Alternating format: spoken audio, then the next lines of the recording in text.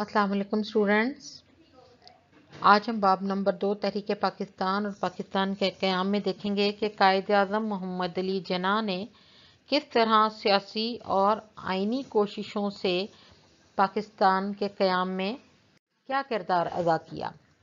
कायद अज़म मोहम्मद अली जना जो 25 दिसंबर 1876 यानी 1876 को कराची में पैदा हुए थे। अल्लाह ताला ने आपको सियासत की बहुत ज़्यादा अक्ल फ़हम से नवाजा था। शुरू में तो आप हिंदू मुस्लिम इतिहाद के हामी थे और चाहते थे कि ये दोनों अकवाम मिलकर बर सग़ीर के लिए काम करें और अंग्रेज़ों से आज़ादी हासिल करें। उसके लिए, इसके बाद जब आपको पता चल गया कि कांग्रेस सिर्फ़ और सिर्फ़ हिंदुओं की जमात है तो आपने कांग्रेस से अलहदी अख्तियार कर ली। अब सबसे पहले 1909 में 1909 में आपने मिंटो मार्ले असलाहत हिंदुस्तान में मिंटो मार्ले असलाहत का जब नफाज हुआ तो वाइसराय हिंद की कौंसिल के अरकान की तादाद भी 16 से 28 कर दी गई। और मुंबई के मुसलमानों ने इसके लिए कायद मोहम्मद अली जना को अपना नुमाइंदा बनाया। कायद मोहम्मद अली जना ने 1913 में मुस्लिम लीग में शमूलियत इख्तियार की और मुस्लिम लीग ने उन्हीं के कहने पर अपने दस्तूर में तरामीम की।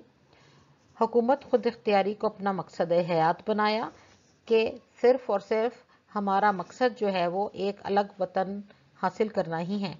आपने अपनी सियासत से, अपनी अकल समझ से बरतानवी फ़ौज की, बरतानवी राज की जड़ें हिला दी और कांग्रेस के मुस्लिम दुश्मन पॉलिसियों के बायस आपने 1920 में फिर कांग्रेस छोड़ दी। उसके बाद 1916 में वो पहला एक इजलास था जिसमें हिंदू और मुसलमान इकट्ठे एक ही बात पर रजामंद हुए थे और इस इजलास को हम लखनऊ, मिसाक लखनऊ या लखनऊ पैक्ट कहते हैं।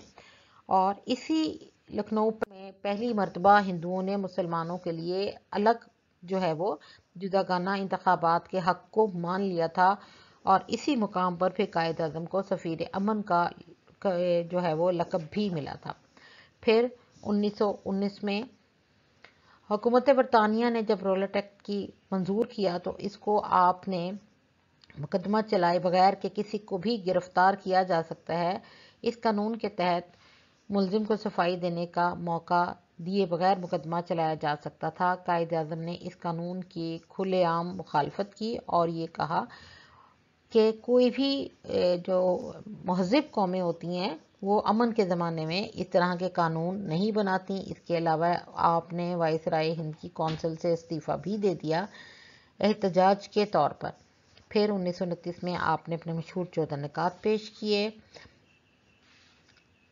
तीसरी गोल में इस कॉन्फ्रेंस जो 1930 से 32 के दरमियान हुई, कायद अजम ने पहली दो कॉन्फ्रेंसों में शिरकत की। हुकूमत बरतानिया ने गवर्नमेंट ऑफ़ इंडिया एक्ट 1935 जब मंजूर किया मगर कांग्रेस और मुस्लिम लीग दोनों जमातों ने ही इसे नापसंद किया।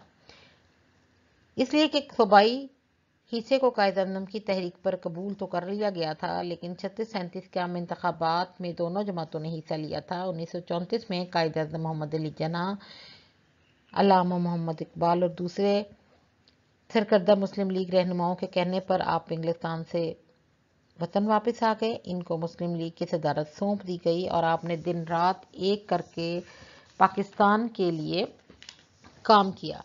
1940 में लाहौर में मुस्लिम लीग के सालाना इजलास मुनद हुआ, जिसमें हिंदुस्तान के मुस्लिम मुसलमानों ने मुतफ़ा तौर पर, यानी मिलकर इस करारदाद को मंजूर कर लिया कि हमें सिर्फ़ और सिर्फ़ एक अलग वतन चाहिए, जिसमें कि हम आज़ादी से जो है इस्लामी असूलों के मुताबिक ज़िंदगी गुजार सकें और आपकी इन तमाम कोशिशों से आखिर उन्नीस सौ सैंतालीस चौदह अगस्त को पाकिस्तान मारज वजूद में आया और कायद अज़म इसके पहले गवर्नर जनरल मुकर हुए।